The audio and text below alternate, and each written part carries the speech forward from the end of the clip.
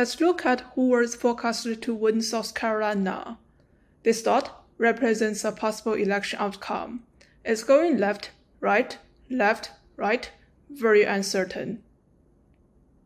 And the McMaster wins in this election outcome. However, there are many other possible election outcomes. Join our paper talk to learn more.